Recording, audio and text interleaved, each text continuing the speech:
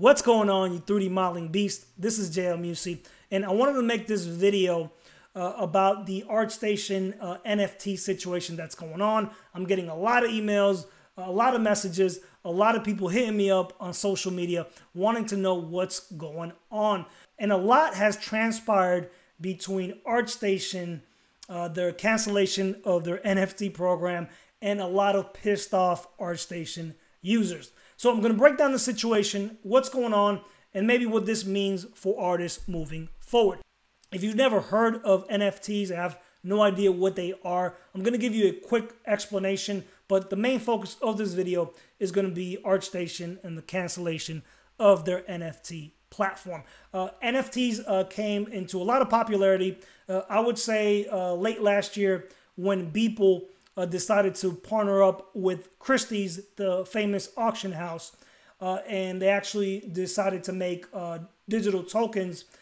So it actually allowed an artist like Beeple to deem his digital work as uh, unique, as original via that use of the NFT token. So uh, NFTs are non-fungible tokens. They are a derivative or they work off the back end of the Ethereum blockchain network.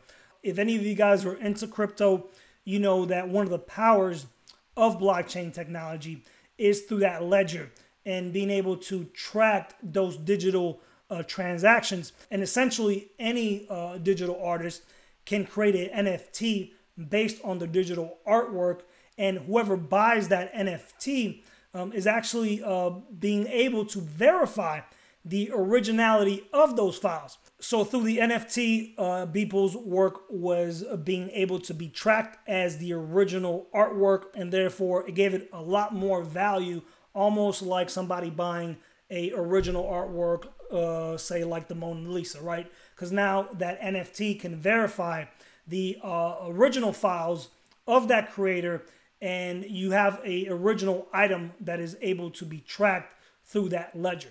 So let's go ahead and move on uh, and talk about what happened with ArtStation. So ArtStation decided to come out with their platform. They had selected artists. Uh, some artists were from Halo, some were from Magic the Gathering, and they were going to use their very popular um, platform, ArtStation, to actually create NFTs and partner up with artists and hopefully make some money for themselves by charging pretty much a transaction fee. And then also the artists were going to go ahead and make money themselves uh, upon this news. Uh, they got a lot of backlash uh, uh from the community. I'm going to go ahead and actually just read some of the tweets that were out there. Um, there's been a lot of articles. And the crazy thing about this, guys, is that if you actually look ArtStation NFT, um, you'll pretty much see that everything was scrapped away from their blog posts to a lot of articles uh, basically saying uh, or documenting their actual launch.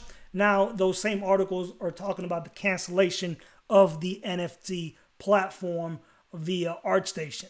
This one's from the Cointelegraph, and it's actually just highlighting uh, what some people were saying about the uh, NFT launch uh, from ArtStation. People uh, were basically saying that they bullied ArtStation and not selling NFTs. And then this one, uh, and I think this is what kind of got uh, ArtStation spooked, and they actually pushed this back a lot of artists and users were actually saying they're going to cancel their subscription uh, because of the ecological footprint NFT, uh, which are derivative of the Ethereum uh, blockchain technology. Um, they can leave a big uh, ecological footprint, right? It does take a lot of power, a lot of computing uh, to actually process all these transactions. And this is a big reason why ArtStation got a lot of backlash from the artist community within ArtStation uh, because of this big ecological footprint, uh, a lot of users were actually threatening to uh, cancel their um, ArtStation membership. If you're not sure what ArtStation is, ArtStation is a big artist community, a big platform, and users, mainly artists, actually pay to have different subscriptions. You can have a free subscription where you can upload your work for free, have it hosted there. If you want certain perks like extra visibility, and a lot of other, uh, in my opinion, great features, you have to pay. It's roughly uh, about $80 a month. I'm sorry, $80 a year for the ArtStation Pro account. And, you know, some artists, upon hearing the news, uh, they weren't really pleased and they pretty much threatened ArtStation that they were going to cancel their subscription. So upon hearing the news, uh, ArtStation decided to pretty much roll that back and they decided to cancel the NFT platform for the time being. So I definitely want to hear your feedback in the comments down below on this situation. Was uh, ArtStation right all along with their NFT platform and maybe thinking that this was going to benefit uh, 3D artists and digital artists as a whole and providing a extra way of creating revenue? Or maybe you think the backlash was well suited and that ArtStation made the right move by scrapping the NFT platform and really just thinking about the ecological footprint that increased NFT usage uh, through their platform was going to create.